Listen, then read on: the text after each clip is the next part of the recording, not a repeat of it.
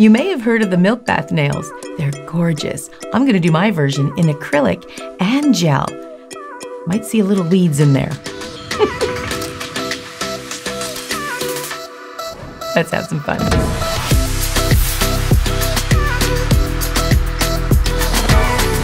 So I went rummaging around in the backyard in our beautiful English garden, right, cameraman? Oh, it's nice. Oh yeah, I'm We quite have- the gardener. Yes. Oh, yes. It's it's extraordinary. We have some prize weeds back there, probably like six feet tall, right?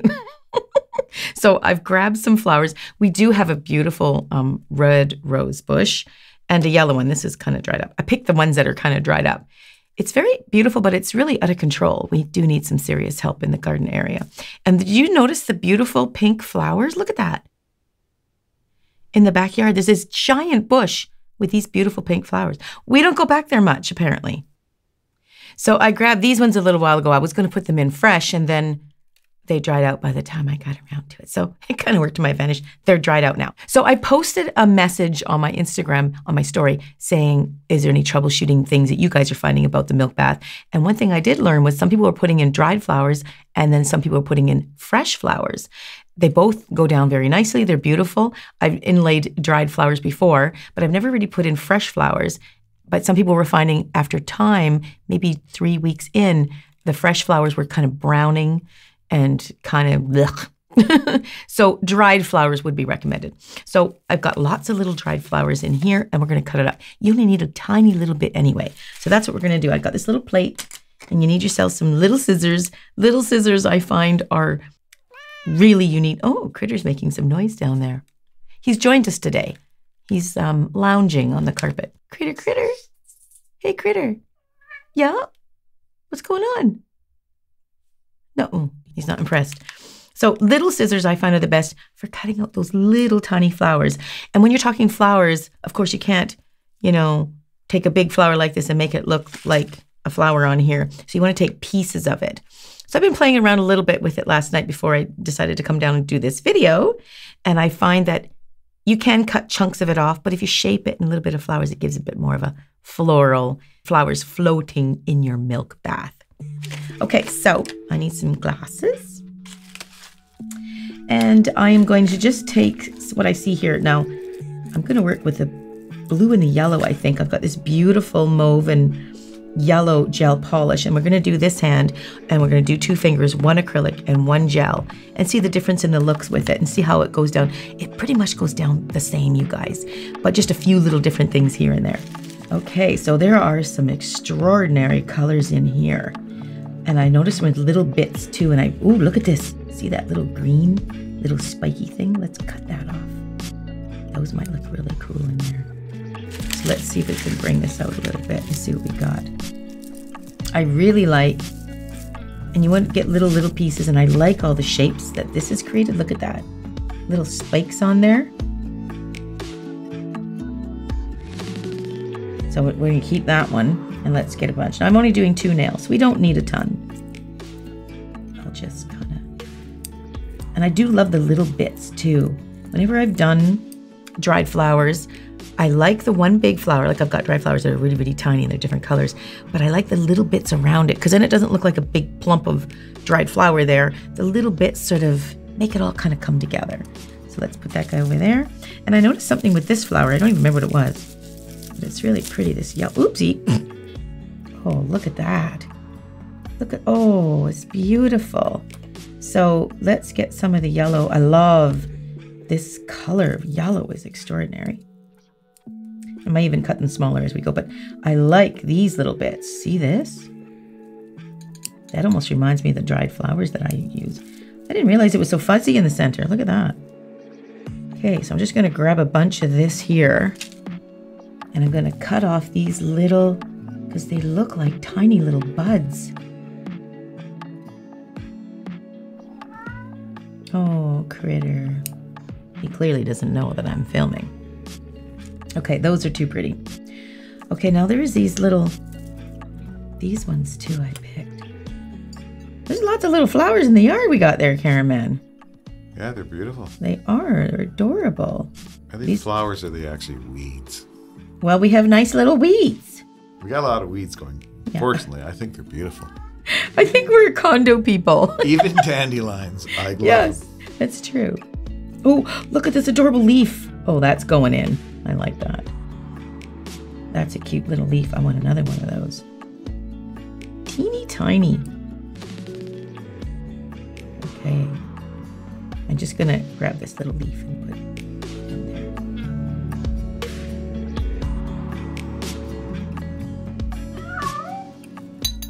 Oh, Don't know what he wants. What's up, little thing? Probably wants outside, but He ha- he can go outside anytime. We have a nice little patio, and he can go in and out whenever he wants. This is pretty. This looks like an iris. I don't know if you can fit it on there, but look at the veins in it. The dried. Oh, that's extraordinary. Let's see if we can make that work. I'm probably getting too carried away with all this he stuff. wants out. Oh, Caraman, you gotta let him Let him out. out. Yeah. Sorry, guys. Kitty break. Okay. outside? Yeah. All right, there you go.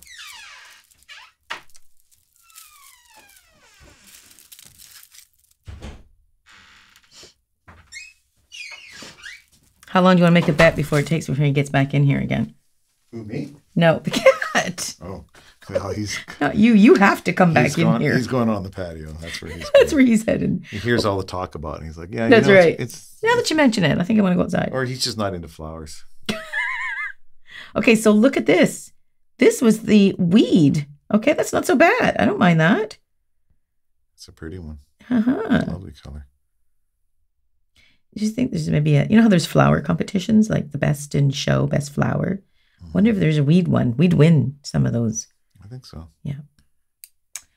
Okay. I kind of want to stick with that blue and yellow, but this might not be dried enough. This is still fresh. I mean, I do do videos once a week, so I will change it in a week. So I won't really have the longevity of it four weeks in to see what it's going to do. But I'll take people's word for it when they say it goes kind of mushy. Um, okay, I think I've, um, you know, I'm getting carried away. This is enough now. I got lots. That's, okay. That's a lot to cover your nails. It's a lot. I mean, we're only talking two nails here. It's not like it's a giant thumb and all my fingers are thumb size, right? Okay, so I'm just a little housekeeping here. Okay, so I took all my nails off my hand that I always work on, and we're going to put these flowers over here. Oh, there's a spider on the table. There's the hazard of picking your own flowers in the garden. I was wondering about that. Well, I, gotta think flowers in the stores would have it too. He's awfully cute. Oh, cute. don't hurt him. I'm not. Or I'm just moving him out of the way. He's creeping me out a little. I'll, I, I gotta get him. I'll get a cup. He's kind of cute, but he's got a black widow body. He does actually. He's kind of cute. Look at him. He's looking at you.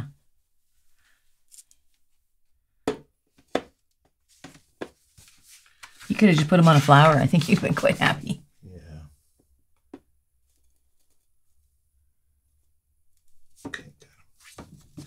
Yeah, I have a dedicated cup for. Don't just break his leg. For not Good just boy. for spiders.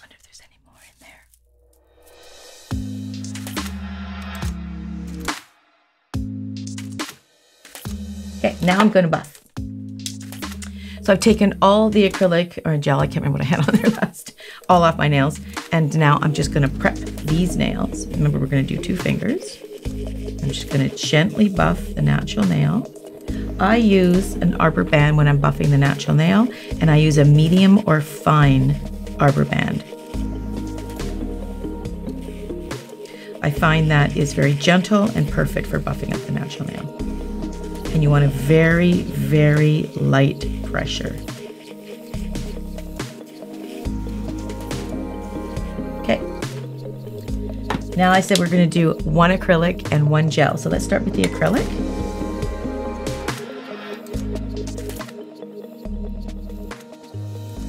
We've got our little flowers all prepared. Let's put them right there Oh, you until we need them. You found your shiny thing. I did. It's full of. Remember, we did that disastrous. Painted my gel, na- my nails with um, blindfolded. Don't recommend that. Doesn't matter how long you've been doing this and how good you are at it. I was terrible at it. Absolutely terrible. Okay, so I'm going to get a form and we're going to start forming it up. So with the acrylic, it's great because the flowers will stick to the acrylic. So you want to lay down some acrylic first for some forming it. Forming a nail is an art within itself. I have a few videos on how to form a nail uh, perfectly. And if you don't get that right, it's like it's like if you're building a house and the foundation is crooked, the whole thing's gonna be crooked. So the form is crucial for gel or acrylic, no matter what you're doing. Even when you're putting a tip, a tip is a sense of a form, and that's also when you put that on. So this part is really, really important to get that right. Now, because this is acrylic, I'm going to need um, a prep, a dehydrator. You want to gently put that on the nail, and then you want a primer. And when you're using a primer, you want to make sure you do not oversaturate that nail. Just gently put it on just to cover the nail. You don't want to put too much on because you don't want it to soak under to the matrix, which is the root of the nail, and that's beyond the cuticle. So just gently put that on. Okay, now I want to mention something that's coming. This is my new brush, my new signature brush. Yeah, so proud of it. It's the most perfect shape, which is, is my favorite. It's an oval eight. It's my favorite. Okay, so I got my monomer here, got my paper towel. I'm not doing this any specific product today. This is not a sponsored video. This is just me showing you technique and educating you the difference between uh, inlaying the milk bath flowers nails with acrylic and gel. And right now I'm going to put down, I always like to do this beforehand because I file to it when I take it off. And that is I'm just going to put a soft, thin, thin layer of the pink. Just any pink that you like. I particularly like um, a little mixture that I do just to cause a nice kind of a soft look on the nail like a foundation, sort of like a foundation that you put on your skin. And I'm going to do this nice and thin. I'm doing it upside down, so it's hard. I'm just going to flip it up this way for a sec.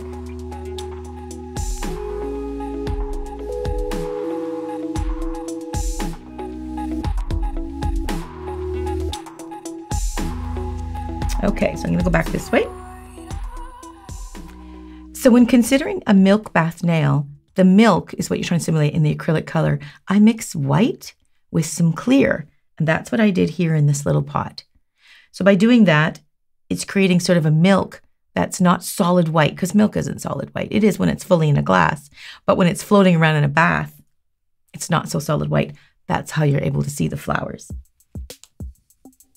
Okay, so I'm going to gather some of that mixture I have between white and clear. And you'll see that it's kind of, I'm going to lay it down here first. I want to put the flowers on top of that. And I'm going to do like a long almond. That's my favorite shape.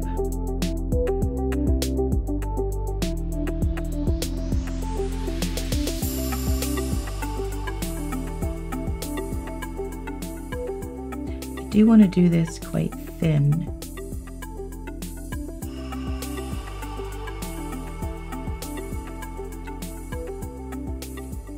So I'm going to just, this may be longer than what I want, but I'm going to pan it out because I don't want it to be thick.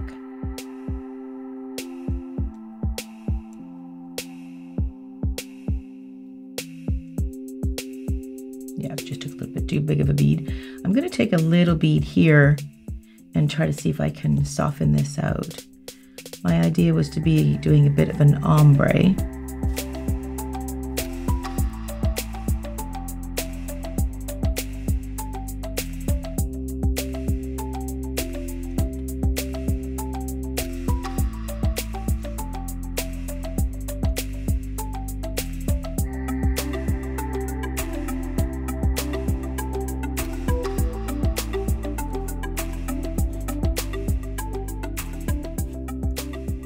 I'm sure I'll cover a flower in there, but just get that little divot out of there.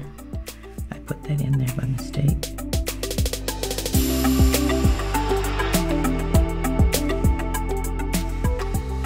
Okay, this is when you can lay the flowers in. I'm gonna do it nice and low. Now, whether you're doing this with acrylic or gel or tips or anything, you want to make sure this part is relatively low. Where you come into trouble with doing any type of inlay, and that's what this is really an inlay, where you come into trouble with that is if you don't do the base part low enough, then you put your inlay in of whatever you're doing. Then when you clear cap it on top, by the time you start shaping, because you want your nail to be a certain thinness, if you go down too far into your clear cap because you're trying to shape it, you don't want it too big and thick you'll dive right into your inlay part, which is what we're trying to avoid. So the key part about this is making this part relatively low. Okay. Now we want to layer inlay. So what you can do is put a little monomer on there. And now, where are my tweezers? There we. And now we're going to bring back the flowers and find little pieces that we like and lay it in. Remember, I really like this leaf. see if we can lay him right in there.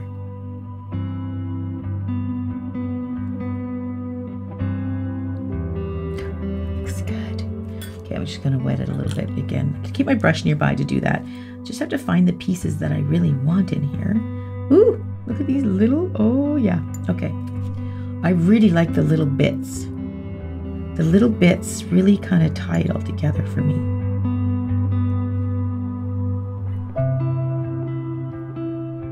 Oh, this is cute. Now to make them flatter, you know, you can flatten them in a book. I think you can do that for a couple weeks and it will be a very, very flat image.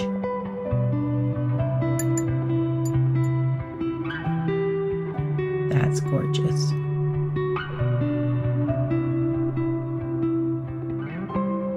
Now, see how it's kind of bouncing little?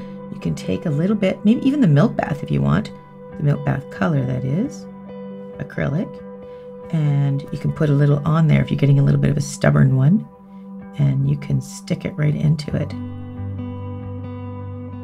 Honestly, you guys, you really don't want to touch the acrylic with your skin all the time. After doing that for a while, you can get contact dermatitis. This stuff is not meant to touch the skin all the time. You want to be able to just use mostly your tools. And sometimes you get carried away and you do it, but I don't recommend that you do. You can also develop allergies if you keep doing that over and over and over. And that's what you don't want. Once you get an allergy to something, that's it. You get an allergy to strawberries.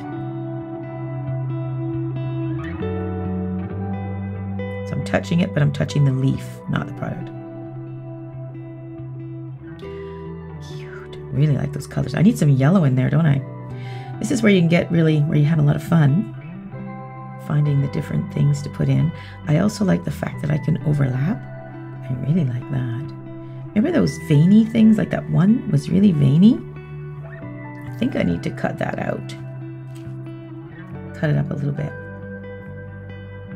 See, you can really see the veins of that flower. Whether that will look good in the long run, I don't know, but we'll give it a go. I'm going to use a bit of clear to see if that works. Don't want to chop up that little yellow one I got there. Yeah, you can really see the veins on that one. You don't like the veins? I do like it. Oh. Don't okay. you? Yeah, I do. So I'm going to use clear when I put that on top because if I use the milk bath, it might cover the veins. And that's honestly what I really, really like about that one. So when I put my milk bath stuff on top, I want to be very careful that I don't cover those veins. Oh. You blew your flower off. Yeah, I did. So I'm just going to bring this a little closer so I can.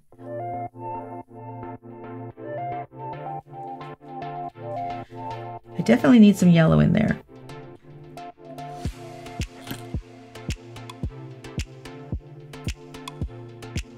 I'm to get a little clear and put it, actually that's a lot of clear. I'm to put some bigger one over here. This one, let's try this one. Yeah, he's not happy either. Okay, so I'm just to get a little clear and I'm to put it right there. See one that I like. I'm going to pop this guy right there. I'm going to stick it down inside that clear. Now he's sticking up on the one end.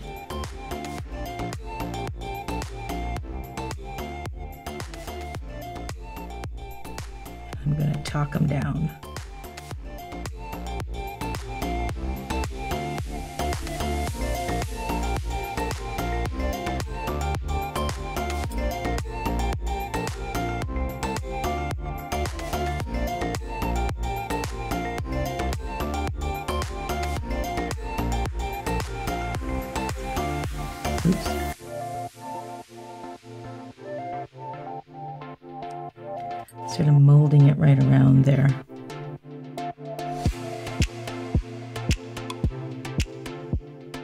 Mean, I'm getting kind of picky because I'm trying to place them a little bit. I want a little bit of, and you can just grind them all in there. You certainly can do it. I've seen people do that. It looks really cool. But for some reason, I feel the need to like place them. I want it to look a little flowery. I think because they're so little that if I just cut up little bits, I just have a bunch of little bits. And I just want it to look a little bit more flowerish. Okay, I still think I need some yellow in there. So let's throw some yellow in.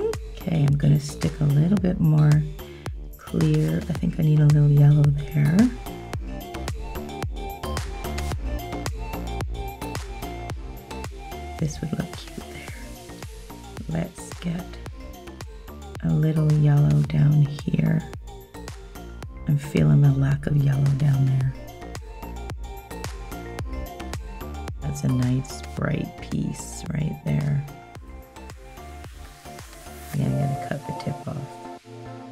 Like a root. I don't need that part.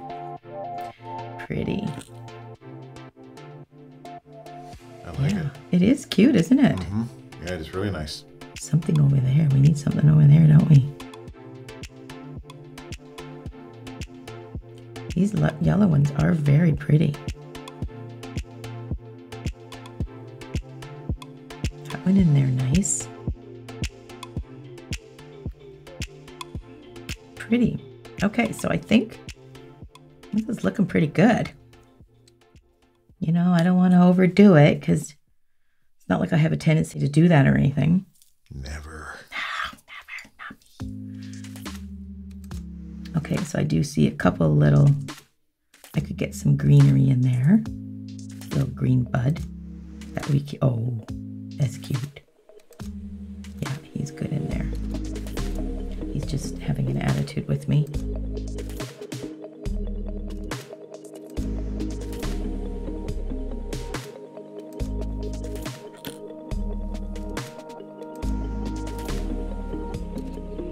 He's going in there whether he likes it or not.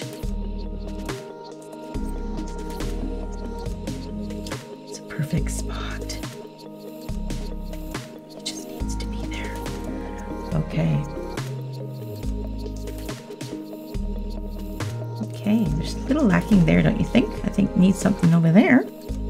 Yeah. I don't know what. Hmm. Oh, that one's cute. It's white though. Okay, let me see if I can. I don't think I want something purple because maybe a little green thing. Here's a green leaf, but he's too long.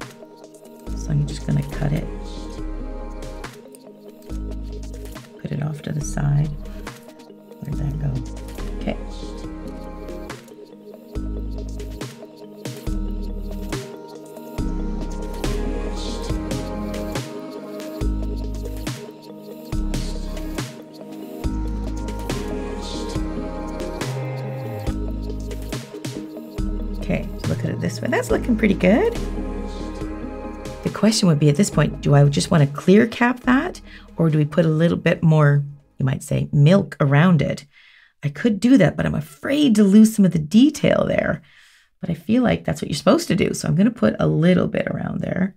I'm like a little nervous because, but I do want it to look kind of milky.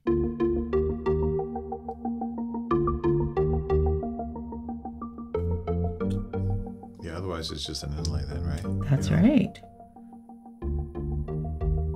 It's supposed to look like it's suspended in milk, right? That was the whole idea. It's like floating in a milk bath, right? I know you've never had a milk bath. You probably don't know anything about it. I've never physically seen one. Do you have any idea what we're even talking about? Um, can imagine, I think. Cleopatra had milk baths. Apparently, they're very good for your skin. Very hydrating. Really? Maybe you should have one tonight, Caraman. I'm a little skeptical. There's bacteria in milk, right? Mm, What? bacteria.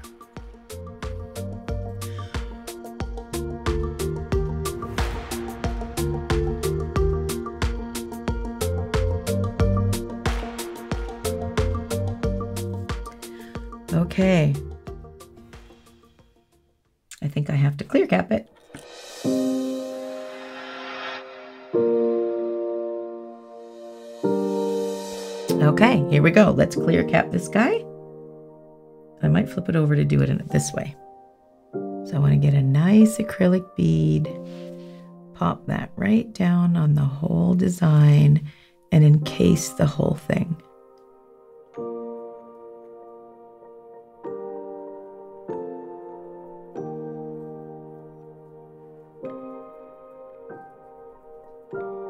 So even if you have different depths and stuff with your the stuff that you put in there, the flowers or the milk bath stuff, it doesn't matter. This will encase it.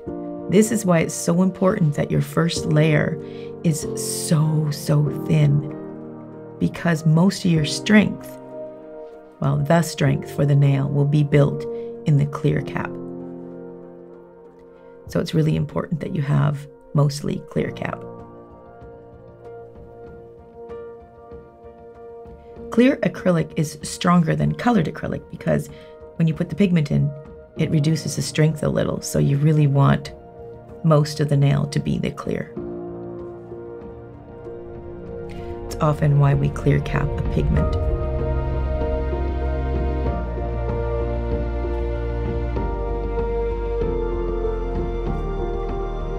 Okay, that looks lumpy and bumpy. Now I'm not going that long. I'm just going to do it to the to the design so it looks a little funny in the end. But that's where sculpting comes in, right? Just going to make sure I've got that covered so when I do sculpt and shape it, I don't run into my flowers. Okay. Now, when you clear cap, acrylic always clouds it up a little bit. It won't remain that way once you top coat it. It just does that when um, you're working with it. Okay, well, that's a lumpy, bumpy mess, but I can take this off. I'm just going to clean my acrylic brush. Just a little tip when you're cleaning your acrylic brush. I rarely need acetone in my acrylic brush, but I do recommend if you do get a hardened clump in there, you can soak it in acetone and it will remove it. You don't want to leave the acetone in the brush because it will dry the bristles out and you don't want to do that. So you want to condition it back again in your monomer. But if there is nothing in there, which there won't be most likely if you're always trying to clean your brush, and if you're using the liquid to powder ratio correctly, that's when you don't get anything in your brush. If you're getting lumpy, clumpy stuff and you're working with it and it's in there and you can't get it out, it's just because you're working with your liquid to powder a little bit on the wet side. So if you just try to make your bead a little more consistent, then you won't get that problem. And it's really tough. Don't be hard on yourself. It is something that uh, takes a bit of practice, right? You might even go through a few brushes. Okay, so I just always condition it, make sure there's nothing in there as far as acrylic goes, and I just condition it in there and I twirl it to see. I've done a video on this too. I twirl it to make sure there's no product in there. I've gotten back to my point. I've got the monomer soaking in it, keeping it nice and supple, you might say. And then you put a cap back on it and it keeps it very happy. Hmm. That's great. Well, that took a little while. I was going to do them all in one video, but that ran long enough. Let's do this part one and join me for the gel one in part two. Okay, let's take some time to answer some questions. So, my first question is Suzie, my name is Genesis and I'm 10 years old. I was wondering why, I, when I use acrylic, the product sticks a lot to my brush and leaves huge clumps of product. Sweetheart, this is a common problem a lot of people have with liquid and powder, which is the liquid and the powder. That's the acrylic systems. So, when you are dipping into your liquid and you're dipping into your powder, you probably have too much monomer, which is the liquid. You want to have less. So when you dip in Go in with your brush, but then hit it on the side a couple of times to release some of that liquid. And then when you go into your powder, you're picking up your bead. It's about three seconds. Should warrant a really good bead. And then when you place that bead on your finger, if it's a perfect liquid and powder ratio, it should just release and it'll just be happy and sit there. At that point, this is when you can get a paper towel and clean your brush just like that. If there's stuff stuck in there, that means there's too much liquid and it's not releasing. It's a very common problem. A lot of you are having it. I actually did a video on that too to address this problem. Good question. That's fantastic. This is our future nail tech here. This is fabulous. Do you have to cure stamps or let them dry before you top coat? Well, curing is only a process that we use for gel or gel polish. In this case, when you're doing stamps, you're doing it with nail polish or paint, and that just needs the air to dry. So by the time you pick up your stamp, you place it onto the nail, you let that dry for maybe a few seconds. You don't, I will tell you this though, this is, I learned the hard way. Don't use a quick drying top coat because when you use a quick drying top coat, it will smear, it can smear the nail polish that you just put on. So it doesn't need much time to dry at all. Those pigments, those really high pigmented, good quality nail polishes meant for stamping, they dry pretty quick. So you're okay. No curing in the lamp involved, just needs a little bit of time, and then you top coat, and you're good to go. Good question. Okay, Suzie, I wish you and Caraman would put up more videos more often. That's a great question. Well, I will tell you guys, um, we would love to, but each video that we do requires quite a bit of time. It's really a very big production. It's a, it's a big deal. There is like doesn't look like it, but there is how many cameramans? How many cameras have you got going on here, cameraman? Right now we have seven going. Right, and there's only two of us doing it. We don't have like a whole crew. Um, so shooting it, you know, we take a lot of time to coordinate everything and figure out what we're going to do. We've done a lot of videos now, so I can't just think of anything to do anymore. I've got to think about what I haven't done and what's maybe new going on.